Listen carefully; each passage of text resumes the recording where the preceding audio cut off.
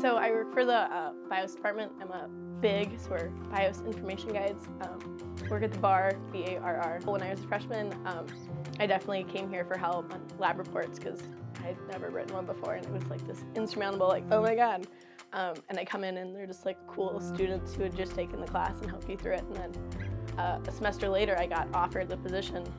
But you get to see them go from like day one when they have no idea what a lab report is to you see them a few years later and they're like TAs and they're like helping out around campus and stuff, so it's really cool. I think it kind of makes it feel like a, um, it's not just you with these questions, like we have also faced these questions. And it gives voice to people that are struggling and they just need somebody to talk to and like vent about like, oh my gosh, I don't understand this concept. Or like, I know it's hard, but you usually get through it.